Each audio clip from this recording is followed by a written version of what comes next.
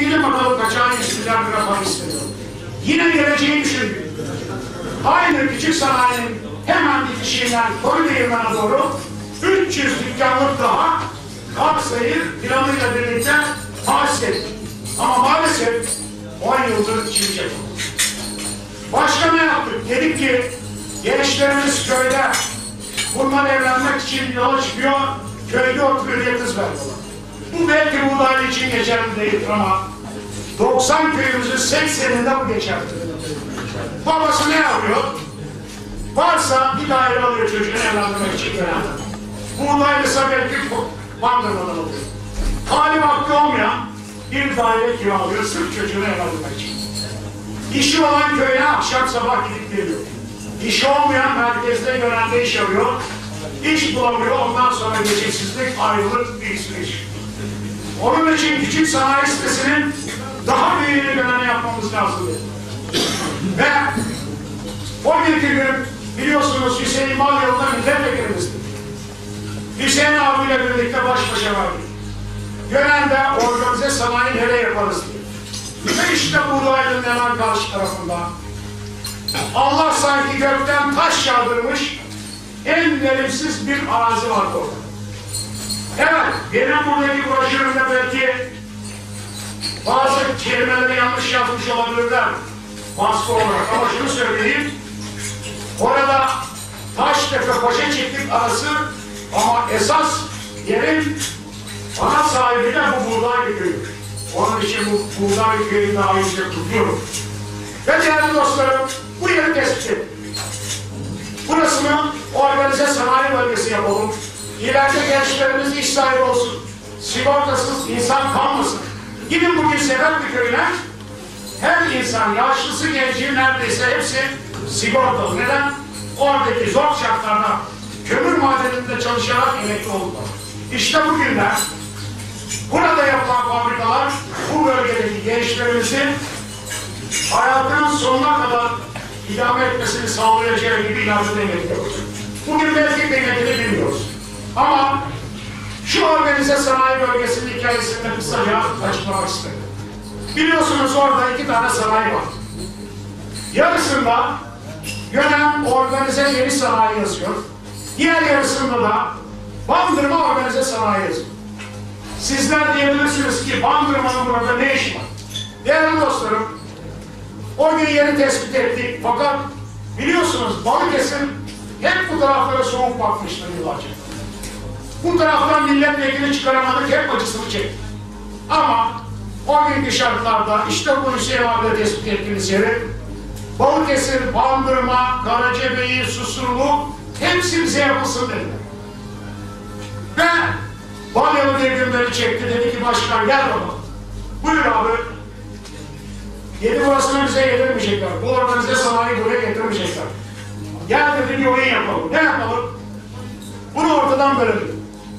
Bunun yarısına ismi Gönen Organize Deri Sanayi olsun. Bunu neden yaptım? Gönen'in bugün merkezinde, kaplıcaların karşısında, sağlık sektörünün karşısında bir deri sanayi var. Biliyorsunuz bu deri sanayinin bütün işleri zehir oluyor. Tabakhaneleri buraya taşımak. Ve o tabakhanelerin yerinde düzleyip orasını tamamen oteller sahası yapmak, iç, içerisini düzenleyerek gondollar, kayıklar, salıncaklar, kafeler ne varsa halkın eğleneceği haline getirecektik. Suyun önüne ben çekerdim. Ve değerli dostlarım, maalesef, maalesef aradan geçen 10 yıllık bu iktidarın belediye başkanı bir tek arıtması eksik olan o deri sanayiye 10 yıldır bir arıtma yaptırıp o dericilerin önüne düşerek onları buraya taşıyalım. Ben bırakırken orada 70 tane derici, deri sanayisi, sanayicisi 4 bin tane işçi var. Bugün bu belirsizlikten dolayı 70 varlıkta düştü 32.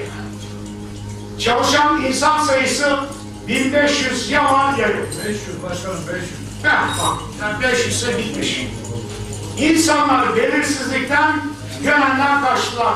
Bir kısmı Uşak, bir kısmı Çorum'da fabrikaları kurdular. Bizim hayalimiz neydi? Organize Deriyi buraya getirelim deri sanayi ki 70 fabrikada 70 fabrikada dışarıdan gelsin 140-150 fabrika burada 11 kişi 15 kişi 15 bin kişi çalışsın. Ya öbür tarafta işte o ismini Bandırma koyduğumuz yer Hüseyin abim onu yapalım dediği yer. Şimdi Bandırma Organize Sanayi'nin ismi de bu oyun neticesinde böyle. Şu kahvenin içindeyiz. Biz bu kahvenin camına üzüm kıraathanesi yapsak, üzümü de mi hizmet verecek? Buradayız. Dedi ki, burası Bandırma'ya 30 kilometre, gelene 10 kilometre. Bu bölgenin çocukları burada iş yapacak. Gel dedim bu şekilde bir isim asalım ne olacak? Çok memnun oldum. Bizim için önemli olan gelsin burada yatırımcı. Genç kardeşlerimiz iş sahibi olsun. İşte bunun hikayesi de bu arkadaşlar. Bakın o iki buçuk yıllık iktidarımız zamanında, iktidarla çalıştığım dönemde daha doğrusu, bugün Gönen'e üniversiteye getirdik, meslek yüksek okulu. Türkiye'nin dört köşesinden 1200 tane öğrenci gelip burada eğitim görüyor. Bunlar genelde daire kiralıyorlar. Özel yurtlarda kalıyorlar. Bunlar lokantaya gidip yemek yiyorlar. Bakkaldan alışveriş yapıyorlar. Minibüse biniyorlar. Aileleri gelip alışveriş yapıyor. Yani yılda gelen 30-40 üzerinden bir girdi oluyor. Peki 10 yıldır iktidarın belediye başkanı. Ben 1200 tane öğrenci bıraktım. Bugün 900'e düşen o üniversite öğrenci sayısı neden düştü derseniz belediye olarak hiçbir hizmet götürmedi. Gelen öğrenciler geliyordu. Kapasite 1200 oldu aldı 900. Bir, hiçbir hizmet götürmediği için bu böyle oldu. Bu belediye başkanı 10 yıllık iktidar zamanında bu garip hayatı 1200 kişilik olsa üniversiteye getirmiş. Sen 10 yılda bir tek 4 yıllık fakülteyi buraya getiremez misin? Maalesef oluyor. Ya başka arkadaşlar işsizliğe problem bulacağım derken mevcut işlerde insanlar kaybettiği gibi. Yatırım getirilen getirilmediği gibi. Üniversite yatırım yapılmadığı ve ek fakülteler getirilmediği gibi maalesef geri kaldı. Arkadaşlar biz bununla yetirmedik okulu. iki buçuk yılda ders sırtırmış. O üniversitenin dışında Gönen'de bugün olmayan meslek yüksek okulu bırakmadık. Hastanenin yan tarafında Anadolu Lisesi var biliyorsunuz. Onun yanında ticaret lisesi var. Onun yanında sağlık meslek lisesi var. Onun yanında turizm meslek lisesi var. Bunlar olmayan liselerdi. Binalarınla bir yaptık bunları getirdik. Buraya da bütün çevrecilerden bir sürü talebe gelip eğitim görüyor. Onlar da Gönen'de okuyor. Başka okullar bunlar bitmedi. Bugün yukarıdaki emniyetin karşı tarafında Halk Eğitim Merkez binasını yaptık. Çünkü biliyorsunuz bugün yapılan belediyenin yerinde kız meslek lisesi var. İşte o tarafa yapıyoruz. Başka küçük sanayinin içinde çıraklık eğitim okulunu yaptık. Çıraklık eğitim okulu bir apartman dairesinde eğitim veriyordu. Eski Marmara Orasını yaptık. Başka Karşıyaka Mahallesi'ndeki 100. yıllık ilk öğretim okulunu yaptık. Yetmedi. Biliyorsunuz ki cezaevinin arkasını imara açtırmak. Çünkü içinde bir yaradır. Bütün kıymetli topraklarımızı betonlaştırdık. Ben onun için o doğru taşı yeniden imara açtım. Ve orada bugün TOKİ yapan diyen, TOKİ ile ev yaptık diyenlere sesleniyorum. Daha 98-99'lu yıllarda ben belediyenin TOKİ'sini orada yaptım. Çiçek kenti yaptım.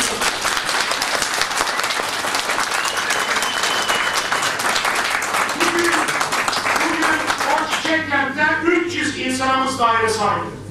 Evet, hiçbir şikayet yok. Ama gidin TOKİ'nin yaptıklarına bakalım. İçinde oturan insanlar Allah aşkına bir sorun. Herkes dertli, herkes leğen kokuyor. Yüz arazinin içine yaydılar. Ne kanalizasyon çalışıyor, işler. Ve değerli dostlarım, bugün biliyorsunuz ki orada şehir mezarlığı var. Hep içinde bir yaraydı. Belediye başkanı alana kadar içinde yaraydı.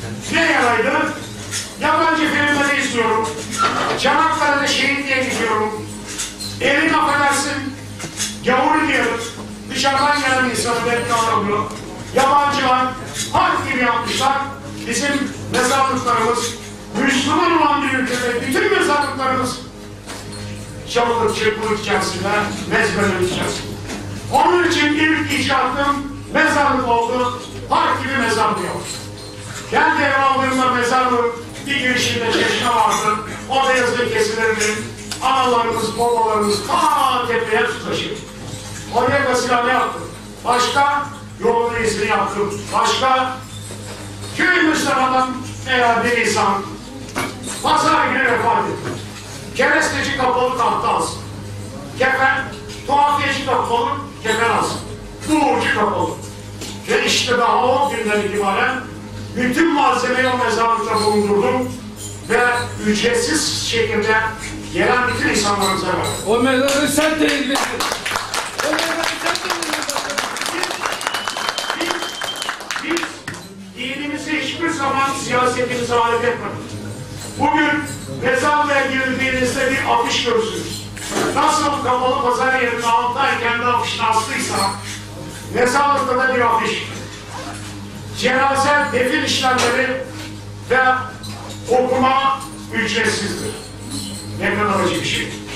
Eskiden ücretli miydi? Eskiden okuma paralamayı yapıyordu. Şimdi Plevne Camisi yaptık diye övünüyor. Bakın değerli arkadaşlar, keşke Plevne Camisi'ni de bu şekilde yapmasaydı. O arka tarafın kamulaştırmasını ben başladım. Devam ediyor mahkeme. Sipsivri bir cami yeri Bu otoparkın camiye gelir elde getirdiğini düşün. Ve oraya yanında park edecek bir tane yer. Ama bizim belediye başkanı hiçbir zaman yerin altına yatırım yapmadı. Hep göz önünde bir şeyler görürsün.